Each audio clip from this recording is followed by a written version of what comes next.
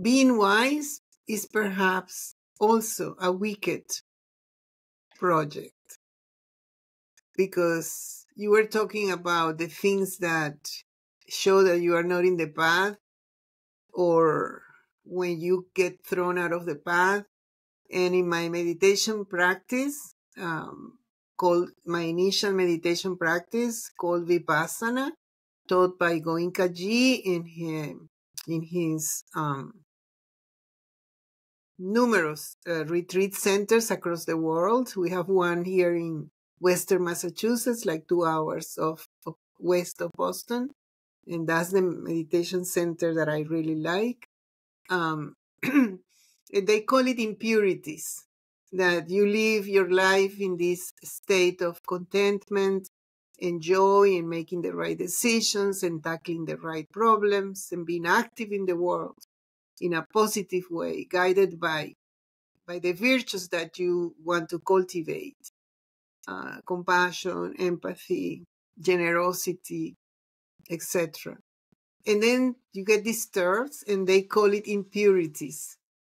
So, um, part of the four things that you have to cultivate presence is to acknowledge the impurities and have the courage to see what to do with them so you can come back to the well being state that you have um, cultivated. And the tools that are presented in the Wisdom Project are for that.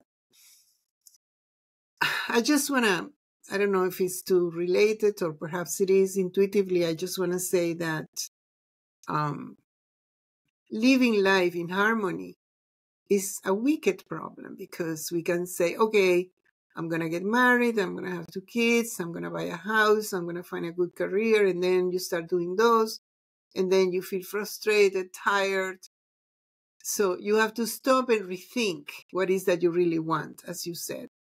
If you want to build a house, it's not, it's complicated. It's a humongous project, but it's not complex. It's, you know, you know, the house has to have two bedrooms, hopefully a kitchen, a living room, the bedrooms, you know, a little porch, a garage, hopefully, you know, you know how to do it. And then the person that you're going to hire, if you're not going to do it yourself, is a good carpenter, carpenter or brick master that are going to be putting things together. So it's complicated.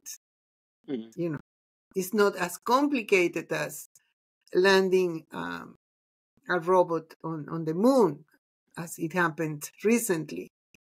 It's complicated. But in both cases, you can do a task, a breakdown of all the tasks that are involved in putting the, the robot on the moon or building yourself a new house.